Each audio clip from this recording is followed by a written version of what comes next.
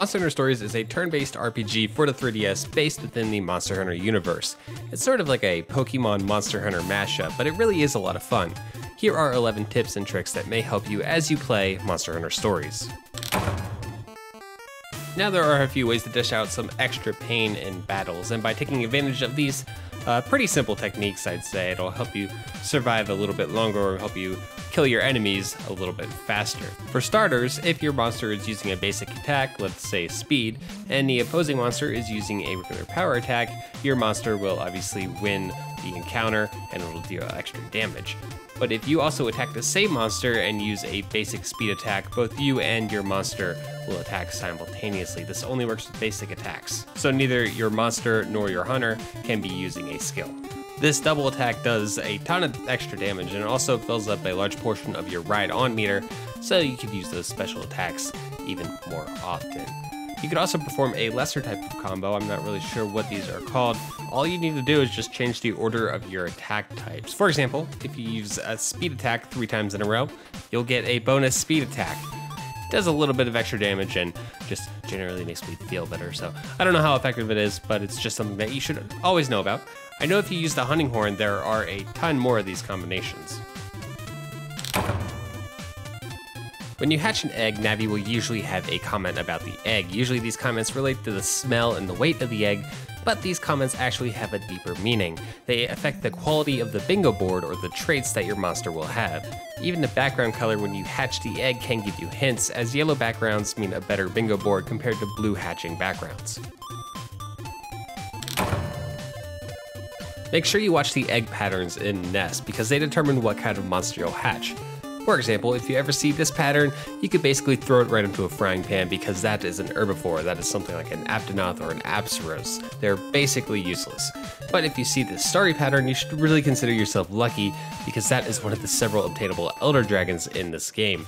If you see this pattern though, it could be something like a Royal Ludroth or another aquatic monster, maybe a Lagiacrus. Rare nests have a better chance to really get something good, so keep an eye out for those gold nests and go into them as soon as you can. Normal nests are usually a dirt color, silver nests are for side quests, and red nests are for high rank monsters. Once you unlock high rank, the golden nests can be either low rank or high rank. Every town has these big shrines, and if you donate money, you can get various stat buffs.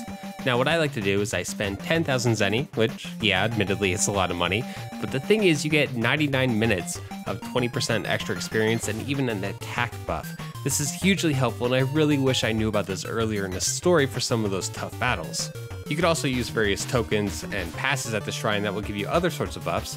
One of them even increases the chances of finding good eggs.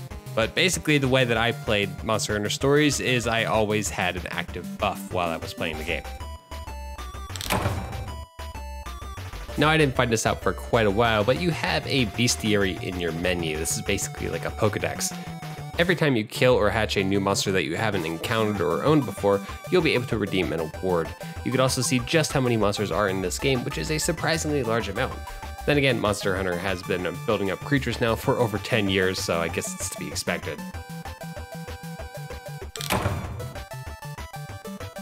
Resistances are surprisingly important, as I'm sure you know. There are some very tough fights throughout the story in Monster Hunter stories. If you're fighting a fire type monster, such as like a Yian or something, you'll probably want to get an armor that has a decent fire resist, a water type weapon, and have a monster with a nice balance of defense and attack. If you look at the color of the damage numbers, you can tell if something is effective or not. If the damage numbers are blue, then the attack is pretty much ineffective. It does like half damage or something like that. But if it's red and orange, then it's super effective. To go along with this, don't be afraid of grinding up some levels and upgrading your armor and your weapons. A great spot to level up, at least for part of low rank, is killing pink Rathians in the area before Gil'Quron. Other good areas include the big tree in the jungle, and many of the monsters at the bottom of Mount Therion. Side quests end up becoming critical as you progress because they're a good source of money, items, and experience. While you get monster materials for equipment by killing monsters, you also get rewards for other things from side quests. As an example, crafting combinations for medical items. The only way you can craft a Mega Potion and many of the other medical items is if you finish a side quest and get the recipe. You can also get certain weapons and armor from side quests. They're important and many of them are very easy, so it's very important that you don't forget your side quests. Throughout the story, you'll encounter various shakas and Felynes. I highly recommend you kill these creatures because the shakas can give you large barrel bombs, which are very, very useful throughout the entire game. But most importantly, I think, is that the barrel bombs let you kill the barrel cats very, very easily. Now, typically, barrel cats are very resistant to damage and whatnot, and they usually run away after a turn or two. But if you use a barrel bomb on a high rank or a low rank barrel cat, you'll kill them automatically. And if it's a high rank barrel cat, you'll get 50,000 experience.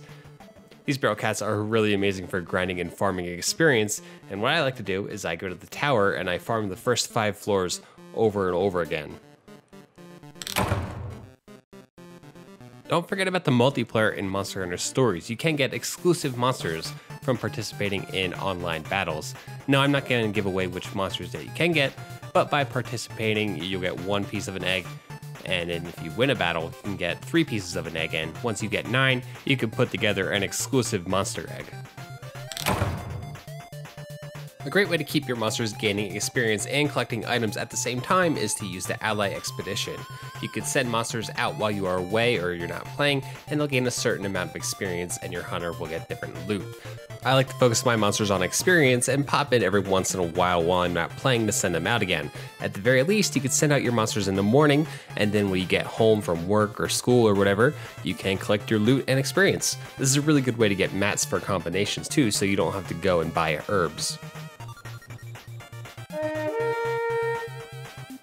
When you unlock ally rituals in the story, it's very important that you take advantage of them.